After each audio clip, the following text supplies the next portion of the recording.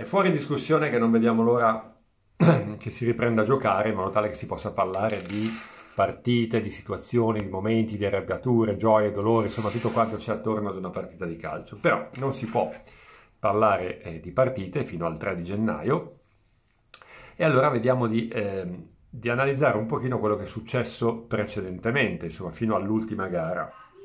No? E ehm, cosa è successo? Che mi sono imbattuto in una ricerca effettuata da eh, tuttojuve.com che ho trovato essere molto interessante perché porta dei dati statistici precisi. Questi dati statistici precisi riguardano la fallosità, riguardano i cartellini, riguardano un po' di situazioni sulle quali mi sono soffermato un attimo a riflettere. Il dato più importante è che la Juve è stata la squadra che ha raccolto più espulsioni di tutte, 5, compresa anche quella di Pinsoglio dopo il gol di Bonucci nel derby, quello degli ultimi secondi. Uh, Pinsoglio che aveva urlato all'arbitro, adesso annullaci anche questo, perché era stato precedentemente annullato un gol. Uh, espressione irriguardosa, ci sta, per carità di Dio. Così come ci sta l'espulsione di, di, di Quadrado, così come ci sta l'espulsione di Chiesa, come ci sta l'espulsione di Rabiome, ne sfugge un'altra, però probabilmente ci sta. Quello che magari non ci sta è che abbiamo visto episodi praticamente molto simili, se non uguali, se non addirittura peggiori, che non sono stati sanzionati alla stessa maniera.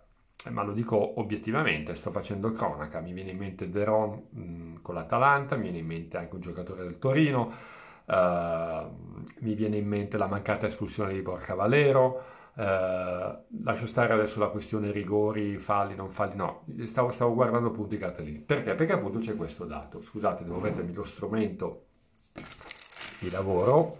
Eh, e allora, Juventus, attenzione, eh, perché poi la cosa interessante sono i, il rapporto cartellini con espulsioni. Juventus, cartellini 28 in generale, ok? 5 rossi 5 rossi. Per restare nelle posizioni alte della classifica, partiamo dalla prima in classifica, Milan 34 cartellini gialli, 0 rossi. Andiamo uh, di seguito per la classifica, dove l'Inter, eccola qua, 28 cartellini gialli, 1 rosso. Cioè 28 cartellini, 1 rosso. Roma 27, 1 rosso, Napoli 24, 2 rossi, Atalanta 26, 0 rossi. Sono dati di fatto, eh? Lazio 45 cartellini, Lazio 45 cartellini, 1 rosso. 45 cartellini, 1 rosso. Sono dati di fatto, sui quali adesso io non voglio eh, aprire, accendere una polemica, ok, però sono eh, dati che fanno riflettere. Poi mi si dice, per carità, se uno entra col piede a martello, giustamente, quindi se la Juve ha commesso, lasciatelo fare Pistoglio, quattro, in quattro situazioni di gioco falli che giustificassero l'espulsione, va benissimo, va benissimo. Evidentemente però, per esempio, se l'Atalanta ne ha zero, probabilmente De Ron, per quell'intervento che aveva fatto in Juventus-Atalanta, doveva eh, entrare nella casellina come uno. Eh, altre squadre potevano averne di più, cioè mi sembra che ci sia un po' di uh, uh, sperequazione, che ci sia un po' di, di, di, di evidente differenza no? in questa distribuzione dei cartellini dovuta sicuramente a giornate uh, particolarmente negative eh, degli arbitri. Eh, perché tutti possono sbagliare e, e, evidentemente nei confronti, non, non è che hanno sbagliato nei confronti della Juve, eh? non è che hanno sbagliato nei confronti della Juve, se questi cartellini c'erano e le dinamiche delle, delle, delle azioni li possono anche giustificare, hanno sbagliato nei confronti magari di altre squadre che mi sembravano altrettanto meritevoli di, eh, di, eh, di essere sanzionati. L'altro dato che emerge da tutto questo è che la Juventus è la seconda squadra meno fallosa del campionato. La seconda squadra meno fallosa del campionato dopo il Napoli. La Juventus ha commesso 158 falli dall'inizio del campionato, quindi la seconda meno fallosa. Il dato del Napoli non, non, non c'è, eh, non abbiamo i dati degli altri, però la seconda squadra meno fallosa, che è una, una, classifica che si può leggere sia in senso positivo che in senso negativo. In senso positivo, beh, fair play eh, o comunque, eh, diciamo così, un modo di giocare eh, non portato alla fallosità. Il lato negativo qual è? Se una squadra commette pochi falli vuol dire che va poco a cercare di rubare palla, che ha poca aggressività.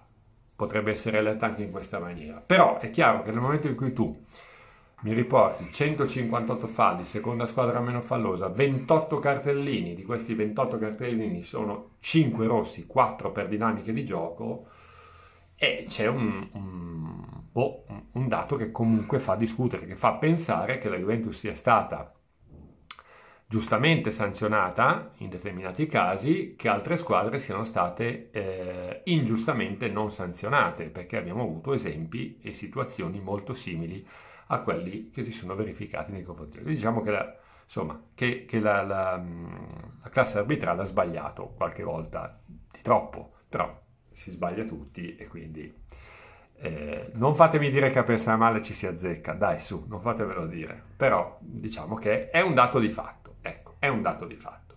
Che poi alla Juve debbano, magari, ma l'avranno anche fatto, raccomandare ai giocatori di stare un pochino più attenti, perché detto tra noi, quando riprendono domani, cioè il 28, eh, ad allenarsi, e voi sapete come funziona, l'ho già detto Pirlo, eh, per un paio d'ore, se non di più, staranno a revisionare tutto il filmato della partita Juventus-Fiorentina, mettendo in luce tutti gli errori di atteggiamento, tattici, tecnici, eccetera, e a parte a quadrado verrà detto lo dico in maniera molto edulcorata, di non comportarsi più così, perché ha messo eh, in difficoltà e anche qui lo dico in maniera edulcorata, ha messo in difficoltà i suoi compagni con quel comportamento dopo un quarto d'ora, 20 minuti di partita. Assurdo, fallo in attacco così, assurdo. Però diciamo che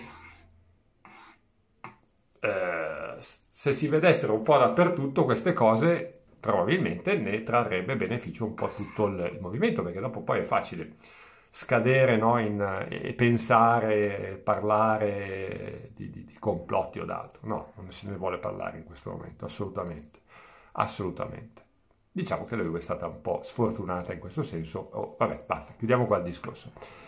Le, l'altra classifica invece che deve far riflettere secondo me molto Andrea Pirlo, attenzione, è che la Juventus è la squadra che è più finita in fuorigioco dall'inizio del campionato, 41 volte la seconda squadra è il Parma, il Milan è finito in fuorigioco 38 volte, altri dati non sono eh, disponibili. 41 volte mi sembrano un po' tante e di queste 41 Morata ne ha un po' da ascriversi a demerito, ecco se vogliamo.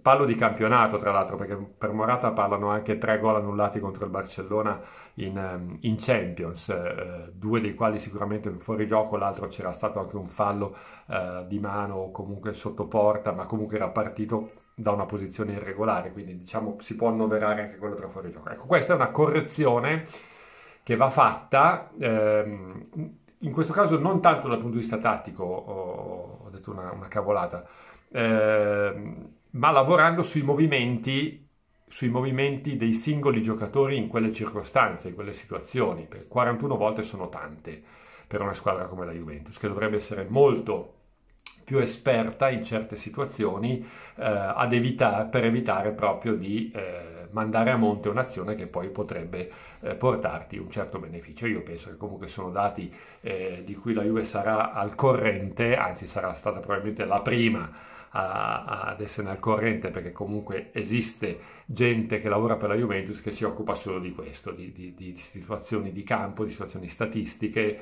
da riportare poi agli allenatori perché ci possano lavorare sopra. Uh, non so se vi ho annoiato con questo video, però mi sembrava molto interessante eh, citare questa cosa. Dire ad esempio anche che Ronaldo è stato nominato miglior giocatore del secolo, vabbè, ha vinto lì il premio a Dubai, ma questa è statistica che rientra nei suoi premi e che in questo momento non ci riguarda. Anche lui è finito in fuorigioco qualche volta comunque, eh, quindi eh, dicevo, spero di non avervi annoiato. Eh, poi vedrete un po'. A me sono sembrati un po', sono molto interessanti ecco, questi dati. E è stato un modo così per stare ancora in compagnia vostra, far riflettere e in attesa di queste benette partite che ricominceranno. Quindi poi vedremo di parlare anche di, tante, di tanti altri aspetti più prettamente ehm, di campo relativi alle partite stesse. Iscrivetevi al canale, sono stato anche fin troppo lungo e me ne scuso. Iscrivetevi anche al canale del mio figlio Balzerini Junior e ci vediamo al prossimo video. Ciao ragazzi!